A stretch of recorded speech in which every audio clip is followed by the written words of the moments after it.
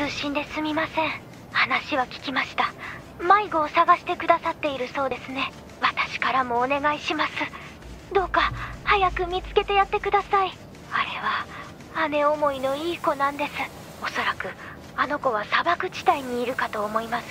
その付近にあの子の姉が必要としているパーツへこんだ金属板があるので。分かった。ありがとうございます。2人ともどうかお気をつけてあれは？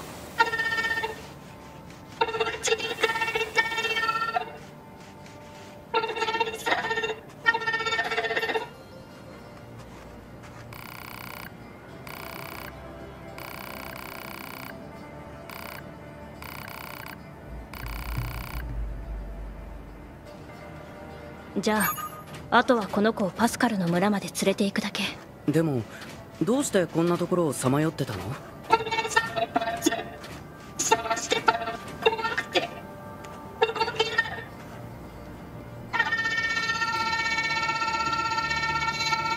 ああ泣かないで。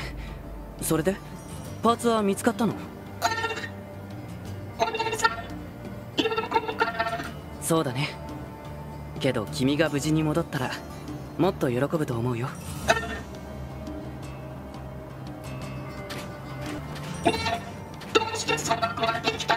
えー、っと降水量の減少のせいで植生が失われてそれに従って土壌が変化しああ土壌っていうのは地面にある土のことだよ。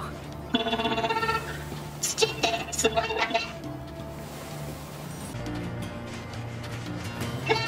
風はどこから吹くのそれは気温や気圧の変化がっていうか確かに風ってどこから吹いてくるんでしょうか。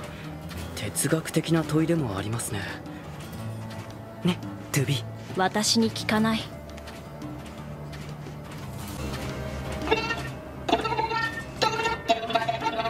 それはあいや機械生命体もアンドロイドも子供は作ることはできなくて。トゥビーそそんな声で言われても私は助けられない。早く行こう。ほらお姉さん待ってるよ